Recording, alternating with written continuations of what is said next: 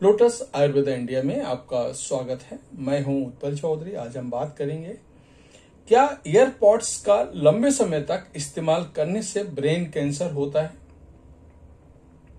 तो आइए शुरू करते हैं आज का वीडियो, लेकिन उससे पहले बोलना चाहूँगा, चैनल आपने अभी तक सब्सक्राइब नहीं किया है तो चैनल को सब्सक्राइब कर लें, बेल आइकन की घंटी बजा दें, जिससे हमारे आने वाले सभी नोटिफिकेशन सबसे पहले आपको मिले। तो आइए शुरू करते हैं।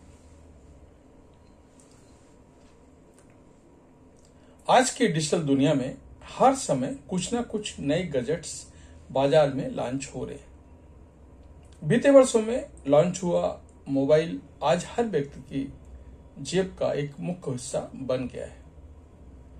कुछ सोशल प्लेटफॉर्म युवाओं को अपनी ओर आकर्षित करते हैं। यही वजह है कि हर आयु वर्ग के लिए आज मोबाइल के बिना दिन बिता पाना मुश्किल हो जाता है।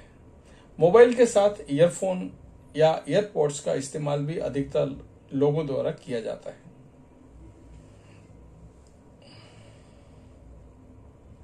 आपने ईयरफोन या ईयरपोर्ट्स को कान में लगाने के बाद बाहर की आवाज़ ना सुनाई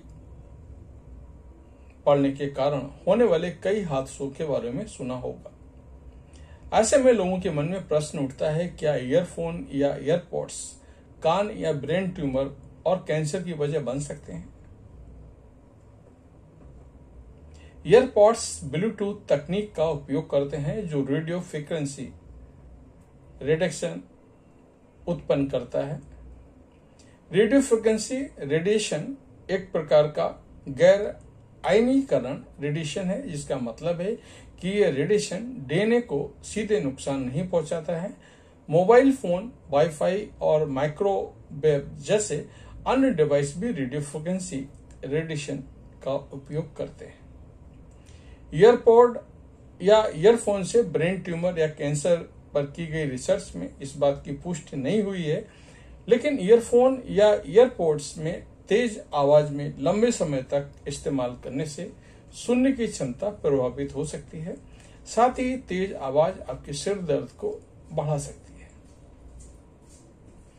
इसके अलावा इसके, इससे आपकी नींद भी प्रभावित हो सकती है, जो आपकी ब्रेन फ़ंक्शन को नुकसान पहुँचा सकती है। ईयरपॉड या ईयरफोन का इस्तेमाल करते समय क्या सावधानी बरतें? ऐसे में ईयरपोड या ईयरफोन का उपयोग करते समय सावधानी बरतना बेहद ज़रूरी है। बच्चों को ईयरफोन या ईयरपोड्स का इस्तेमाल ना करने दें। लंबे समय तक ईयरफोड्स का इस्तेमाल ना करें। इससे कान की नसों पर दबाव पड़ता है। एयरपोर्ट का लंबे समय तक इस्तेमाल करने से आपकी ब्रेन से जुड़ी समस्या बढ़ सकती है। ईयरपोर्ट्स को कम आवाज़ में ही सुनने की आदत डालें। अच्छी क्वालिटी के ईयरफोन ईयरपोर्ट्स को खरीदें। इसमें आवाज़ की लेवल कंपनी से चेक करने के बाद लोगों को दिया जाता है। मेरा ऐसा मानना है, डीएनए में असामान्य बदलाव होने से कैंसर या ट्यूमर का खतरा अधिक होता है। ईयरपोर्ट्स व ईयरफोन से ब्रेन कैंसर का कोई मामला प्रकाश में नहीं आया है। साथ ही इस पर आगे रिसर्च चल रहा है।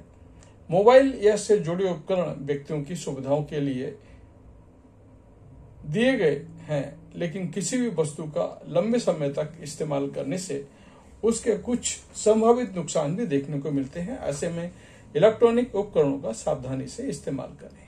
तो ये था हमारा आज का वीडियो। आपको कैसा लगा? हमें अवश्य बताएँ। धन्यवाद।